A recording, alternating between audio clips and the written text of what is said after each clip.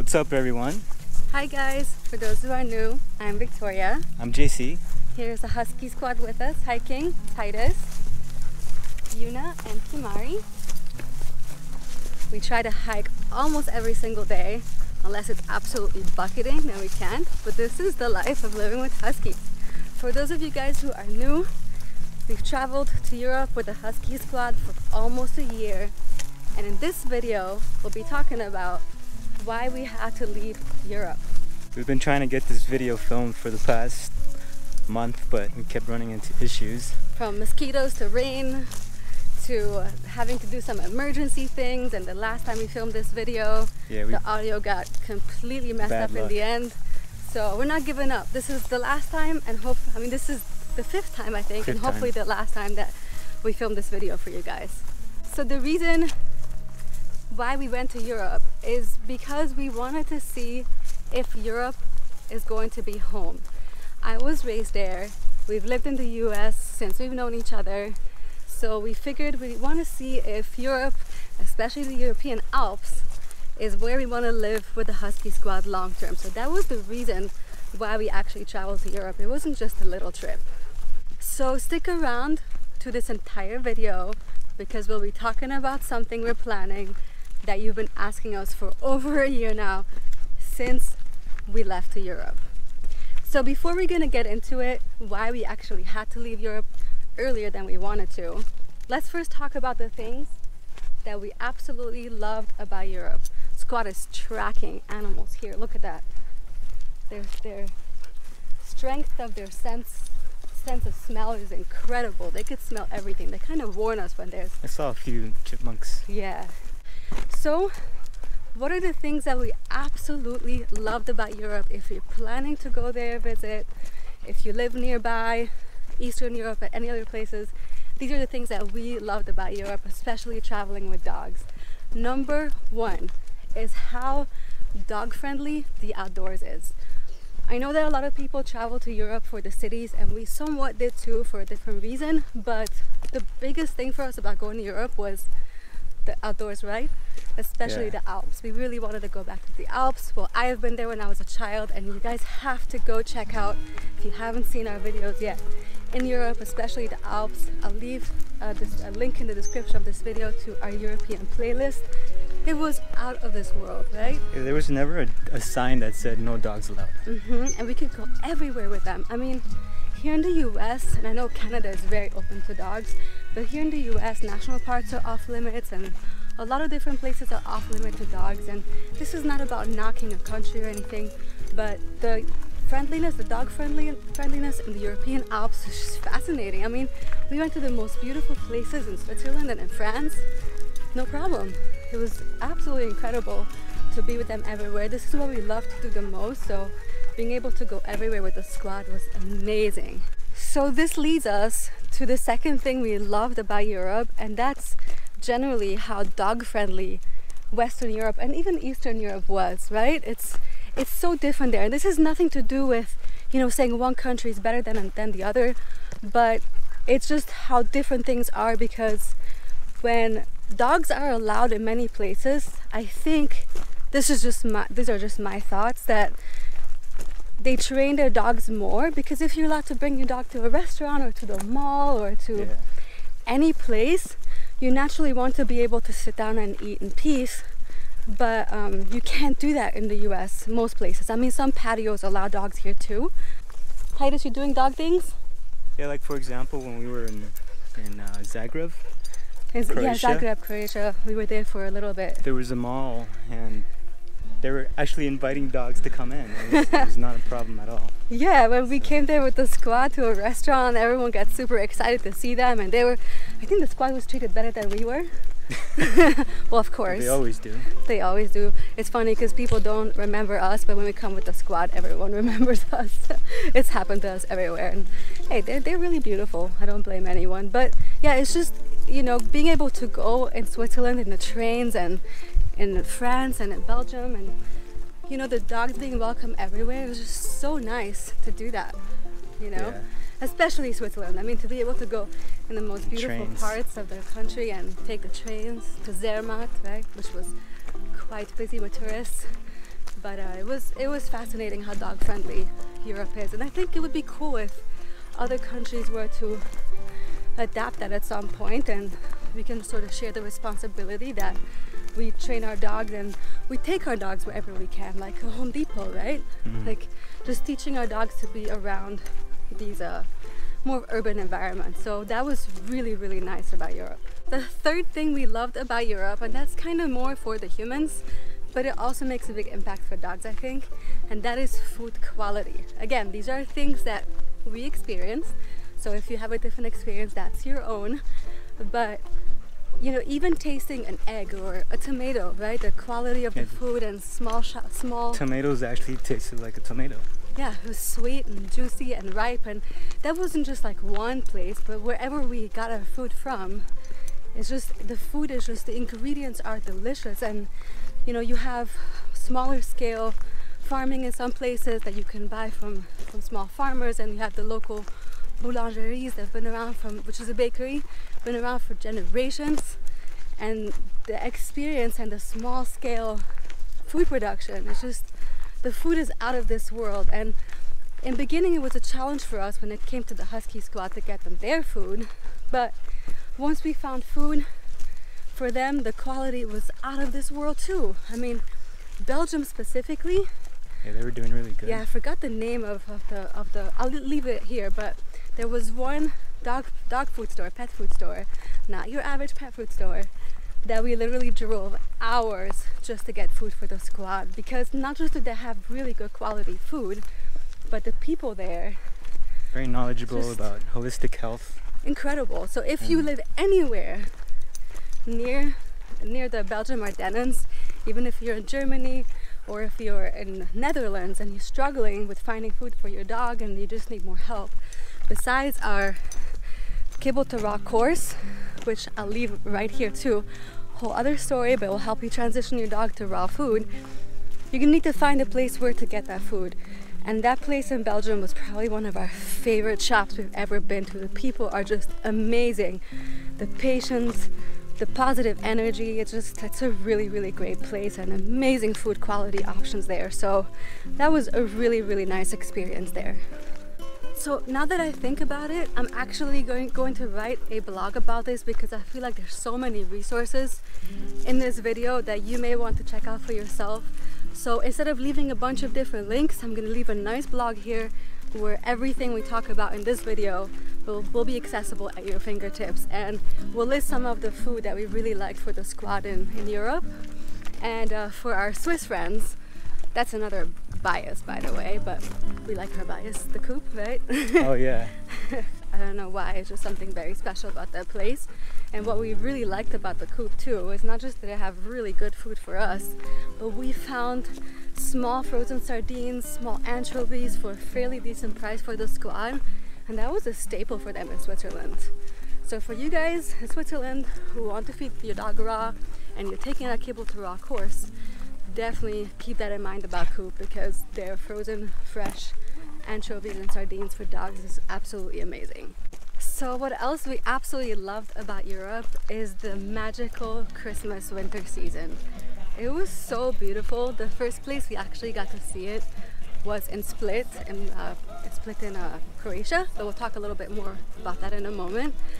But then it followed up with uh, Christmas season in Annecy, and that was in Annecy, France. That was absolutely incredible. It was so gorgeous there, so cozy. It's not of it's not one of the tourist destinations in France for, for Christmas, but it's more of a local tourism. So we got the magic from every side. I mean, it was so charming, and we have a dedicated video to Christmas season in France. You guys have to check that out here on our channel. You're gonna want to visit if you have the opportunity to do that. But there's, it's it's not just that it's Christmas; it's how warm it feels and friendly. People are cheery And it's cozy. and uh, so many lights everywhere. called the drink we had? It's super popular. Hot, Um, hot uh, cider. I'm probably not saying it right. Cidre. I'm trying my best. and then we had fondue, of course, and Kimari got to experience a night with us at the Christmas market because she needed her date. We like to do When ice skating. individual dates. Oh yeah, well he ice skates. I, I uh, do something called falling on my butt almost every time. Butt skating. Butt skating. That's terrible, but JC just throws on his skates and he doesn't really skate often and he just glides like he's done it his whole life. But it was so charming there and and that brings us to how friendly Europeans were to us throughout our trip, uh, especially our new friends that we made on Instagram actually. Uh, Kati, Damien, and Talula, they're husky. They didn't bring their cat, which in a way is probably a good thing because the squad likes to kickbox with cats. but it was so nice that they drove from so far away to spend the New Year's with us and brought us uh, French delicacies like escargot and, and frog, Frog legs. legs. and we had the raclette with them too to bring in the New Year. It was so nice. I mean, we had our own experience in a really nice uh, restaurant in Annecy where we had raclette for the first time. Then when we were in Belgium, which is my home country, we spent time in the Ardennes in the mountains. That's totally underrated. Belgium is very underrated. It's a very nice country. People are so friendly. And then we met our, our uh, Airbnb hosts, Andres and Sophie, and they took, they were sweet enough to try taking us with the squad to ride with their super sweet, big furry kid horses. and This is in the south part of Belgium. it's beautiful. Close to France. hmm Right? In Florenville, we were in Florenville. Florenville. I'll leave everything in the blog. But it was so nice because the squad's Achilles heel are definitely horses, right? Yeah, they just go crazy when they see horses. Yeah, Kimari screams. You never hear Kimari scream till she meets horses. And she definitely screams when she meets them. So they were so patient. Uh, Sophie, Andres, and her family, are so kind, and took us for this long ride and allowed us to go through the training with the squad. And probably about 45 minutes into it, we're all hiking together Yeah. two giant fur kid horses and three huskies. It looked really funny because to us the squad is big, but horses are way bigger, and those were small horses. They were. What kind of horses? They were Highland from the Highlands. Oh yeah, Highlands. Was Scottish Highland? No. Scottish horses. Oh, no. Were they Scottish, or this is just the assumption from Scottish Highlands? No, I think that's what They it were? was. It was it was absolutely incredible, and they're the sweetest, sweetest horses, and we had such a nice time, and the hospitality in Belgium was absolutely incredible. Even in Bulgaria, the hosts were so nice, their family, so definitely felt welcome everywhere we went, even though we had to adjust to new languages. Yeah, that was that was a tricky part. But it was really nice to be so welcomed everywhere in Europe, and we're really grateful for anyone and all their hospitality that we experienced while we were there. So one of the things we noticed and absolutely loved about Europe, and this is, reminds me of my childhood too, is that the charming villages, most of them, the old towns, they are completely pedestrian zone. So you don't have to deal with traffic and smog and noise and all of that. You can just walk forever You can in the little lunch. cobble, cobblestone streets, right? Yeah, you can have lunch or dinner and you don't hear the cars. You don't smell it exactly. It's just it's so pleasant, and I think it would be something. I mean, me talking, but I think it would be something that can easily be replicated anywhere. So I don't know why we all. Yeah, you don't see that in the U.S. Yeah, why much. do we have the cars parked up right by restaurants or these giant parking lots? You know, in Europe, people find places to park outside, or they come together with their friends, and then it's just this whole area that's just all you hear is this chatter of kids, and you know, you just hear these nice little gentle noises, and it just makes for a very a different mental experience. I feel compared to being right in front of cars and traffic. So that was that was really charming and Split well there's a few there's a few places quite a few places that we left our hearts in in Europe and one of them is in Split Split was amazing. that's Croatia guys Split is out of this world go off season that's all I can say it's a coast town. the Right off the marina yeah it's coastal marina and especially when we were there in november i think it was the skies i don't know if it's like this all year round but the skies were pink and purple and every color during sunset and the seas were a bit rougher. It felt like really real. There was actually some nice stormy days too but we had a, a lot of really nice days too. But the food there the restaurants and the little cobblestone street oh the fish. Yeah, and we loved we loved walking around with the squad all over Split, and we couldn't have done this in busy season during tourist season. there were still quite a few tourists, even though it was off season in November. But we loved walking with them everywhere. Kimari loved the cats there. She could not get enough of the cats. But Split was absolutely magnificent, and we got to see it a little bit during Christmas season, but mostly before Christmas, and it was gorgeous. Guys, one honorable mention, well, there's so many, but we definitely want to specify this one, is a little castle mountaintop town in Croatia called Motovun. Yeah, that place was amazing. It was magical. It was out of this world. We were mind blown the way the history came together and the way it, the, the scenery from the, from the top of that little town. It was just so incredible. And we also spent time there with the squad having dinner right around sunset time. It was such a gorgeous place walking with the squad there in the cobblestone streets. It was so, so pretty. If you, we stayed in Istra when we uh, and we went to visit Motovun. But you can also actually go directly to Motovun because there's a lot of Airbnbs there. If it was just JC and I and we were traveling to Europe, I would probably spend there just to relax and enjoy the environment a good five days, five to seven days. What do you think, right? Yeah. It's Yep. such a pretty place and there's plenty of Airbnbs. You have to book them early, obviously, but it's such a gorgeous place. You're gonna love it if you go there. Now, JC fell in love with a very special place that we originally didn't even plan on going, but we ended up going to. Plovdiv, Yeah, I knew he was gonna say that because Plovdiv, Bulgaria. it was a very special place. It was unexpected for sure. and again a really nice historical area that we didn't even think existed and it had this really nice fusion of European and Middle Eastern culture, even the music, the people, you could so feel it and it's such warm people and for the first time in my life I always joke around that I'm a mutt because I have so much so much culture and background in me I don't even know exactly what I am but he was like, hey, there's another Victoria. Oh, there's another Victoria. Yeah, there's so many people that look like her. I do know I have Eastern European ancestry in me, quite a lot actually. But it was interesting that for the first time I felt that I looked like a lot of people, like I was part of people, Like you belong. like I belonged. and my hair was really red too. And there was a lot of girls that had their hair red too, you know, dyed red. It was just so funny. It was it was really cool to experience it and our hosts were there. It was so nice there too and the culture was just absolutely mind blowing. What was it? it? Was named something European City of the Year or something like that while you were there.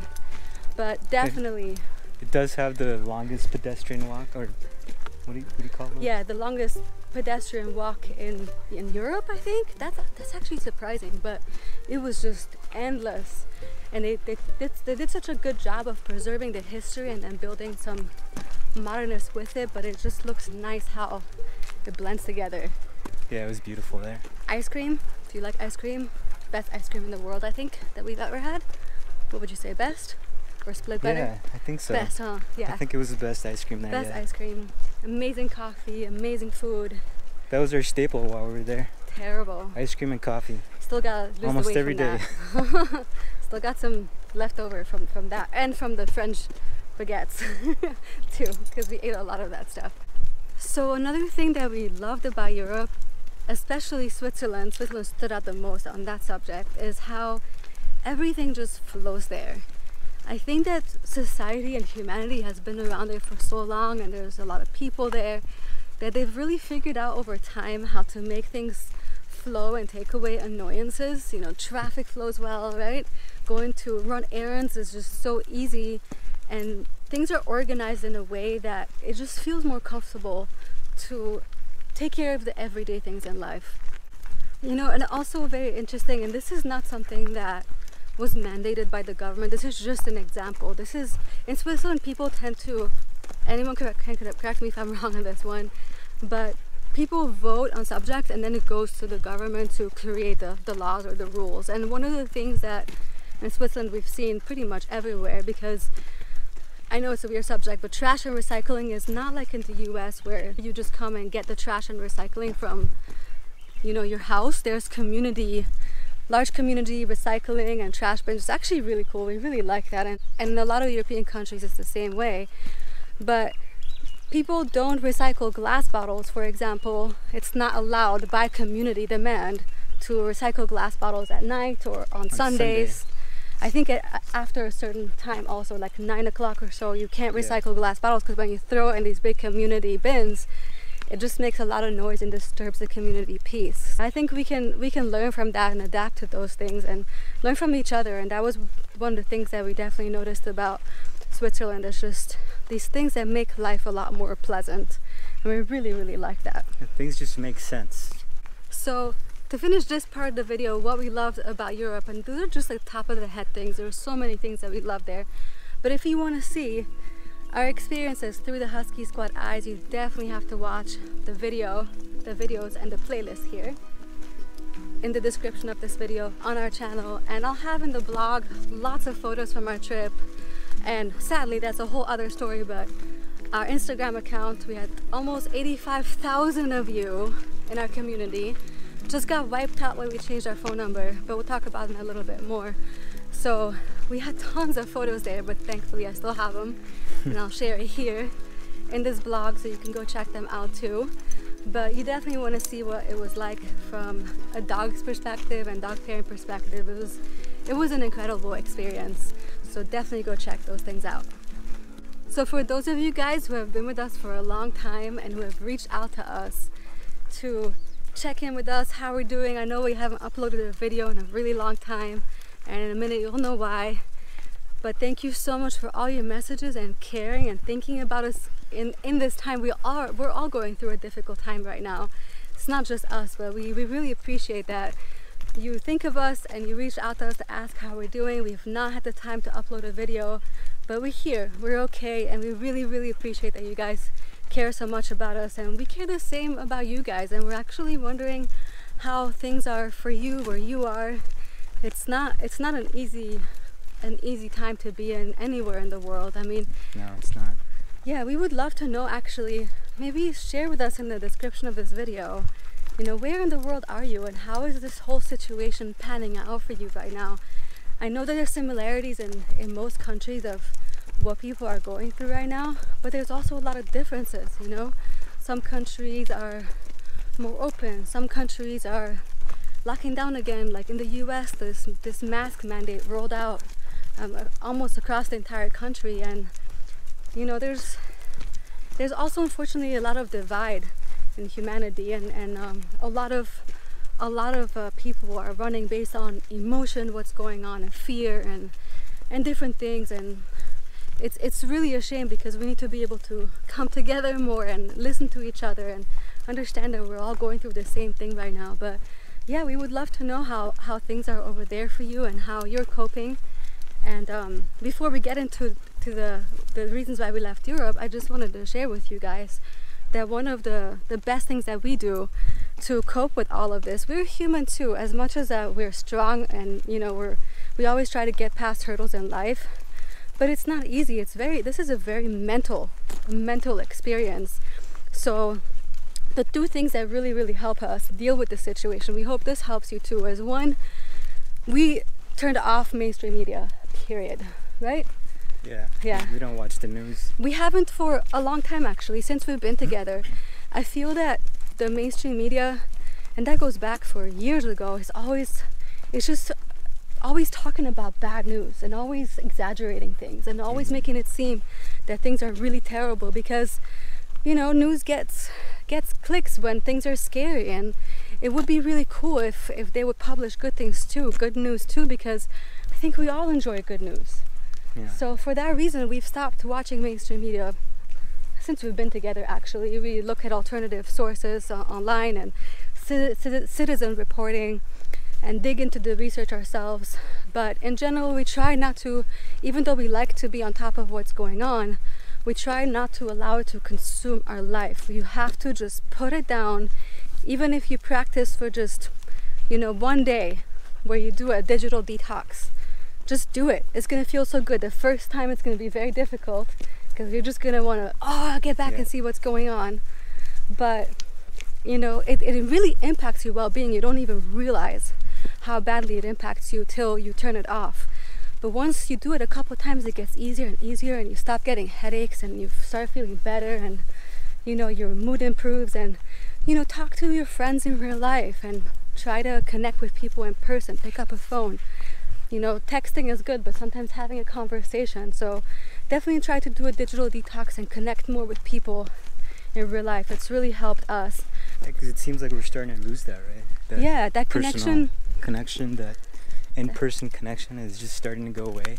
Yeah, It's that's not, not a good good. thing. No, especially with this mask situation, I find that so many people are scared to even look at each other anymore. This is this is not how we are as human beings. We're social creatures. We need to connect. We need to be together and united, and we need to try to just really take a deep breath and not communicate with emotion. Communicate with logic. If you can't do that yet, take a deep breath and try to first connect within you. And how do you connect within you? Here. This is how you do it. It's amazing what the outdoors does for you and it's not even it's not even rocket science. This is where we belong. This is who we are. We are nature. So being in nature is the best therapy, nature therapy that you can get, right? And it's a big part of staying healthy too.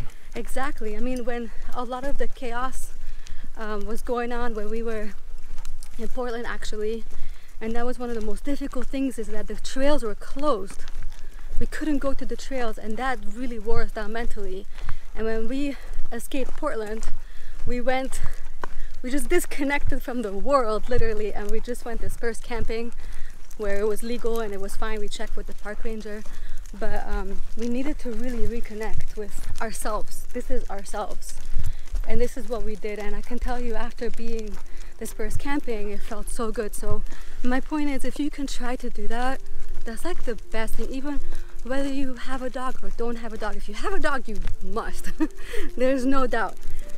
Find what, whatever place you can to go and reconnect back within yourself. This is how we stay sane.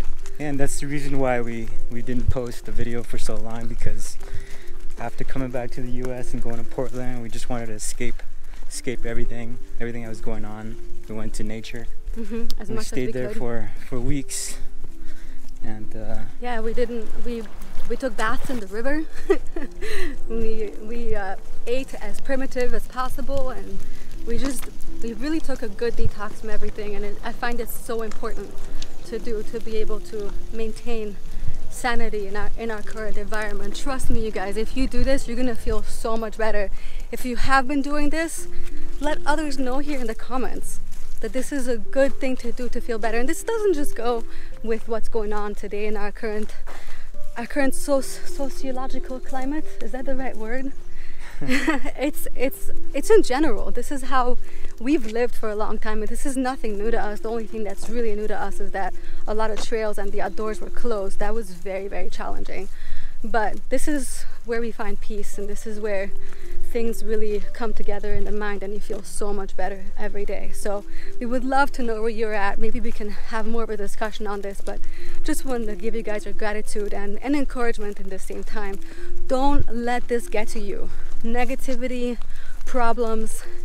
Life is like this, up and down. This is just a big down, but it can't go down forever. It's it's gonna get better again. A lot of it is stuff that is up to us that we can do individually, but generally good passes bad passes ups and downs that's just how life is and this too shall pass. We'll all get past this together. So now on to the reasons why we had to leave europe. As you guys know from the beginning of the video that the reason why we went to europe we wanted to see if europe was going to be home I grew up there in Belgium throughout my throughout my youth, and I've traveled there a lot. And we've lived here for a long time in the U.S. So we wanted to see if Europe and the Alps are home, and that's the reason why we took a very long trip. It was going to be either indefinitely or at least for a very long time. It wasn't just a, a little trip that we took. But as soon as the pandemic hit, it just it changed everything, and we knew fairly quickly that this is going to be more of a global situation my intuition told me that I'm never going to be stuck in, in, a, in a place where we can't legally be full time yet. We have visa things to deal with, with three pups, and I knew that Airbnb is going to become a challenge, and we've been doing Airbnb for such a long time. So we knew that this is going to be difficult, and You know, when you have, we don't speak the language locally. We already had reservations in the UK that we lost Yeah, we because were of gonna this. We're gonna travel to Scotland, the UK, Scandinavia. I mean, Norway. we we didn't want to leave Europe for a long time. we are gonna go back to Switzerland because that was our Favorite place? favorite place to go hiking with the with the squad. Yeah, and the Mont Blanc region too. Yeah, so we- we had all these plans.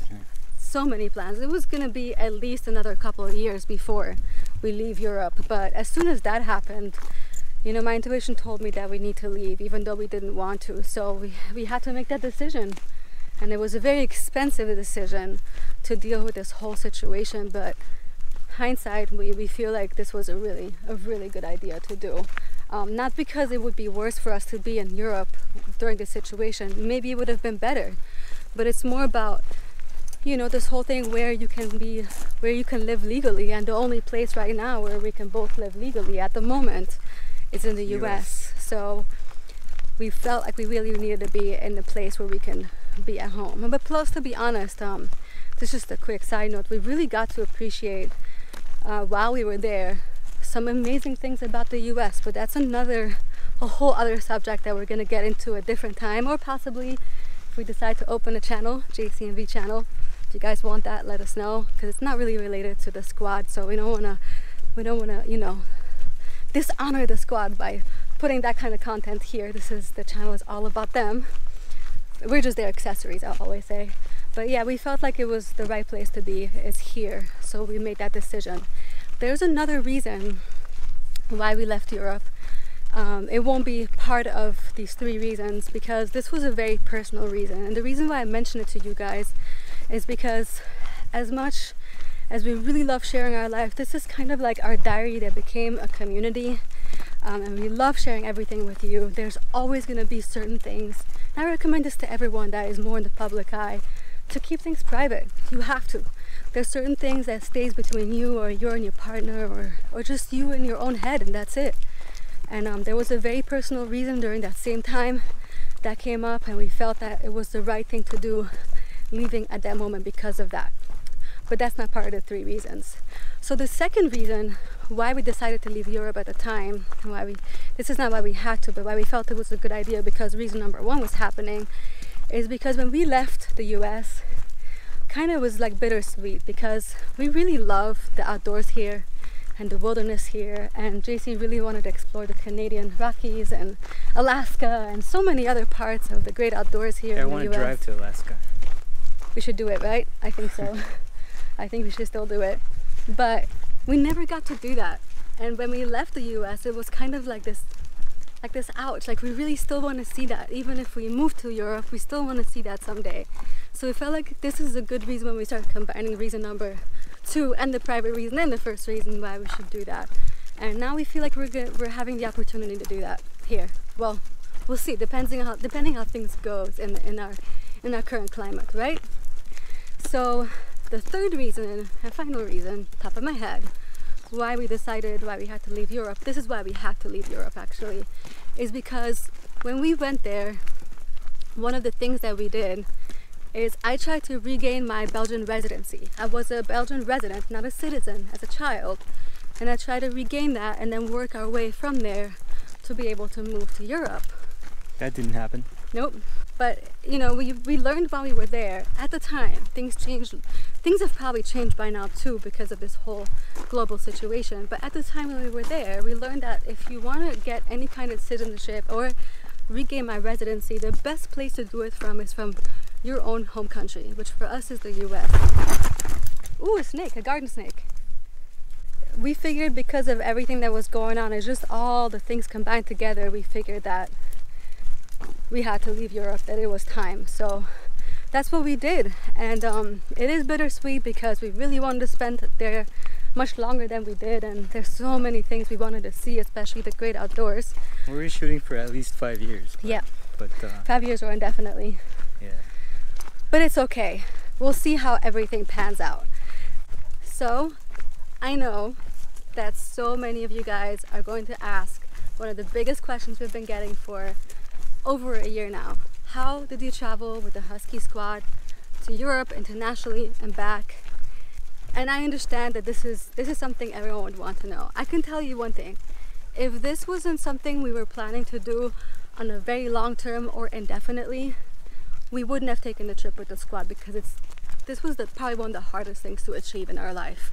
Yeah. But I'm happy to let you know, even though the subject is quite intense, that I decided that we'll do a video on the subject. So that will be our next video on this channel.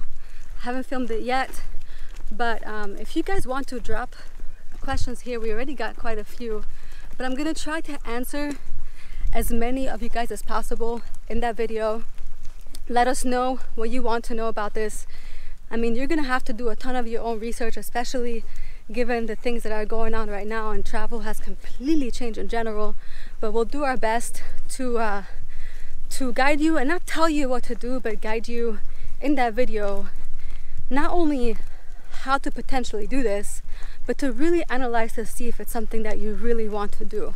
So definitely stay tuned to that video. Let us know in this in this com in the comment section here what you want to know. That will be the next video on our channel.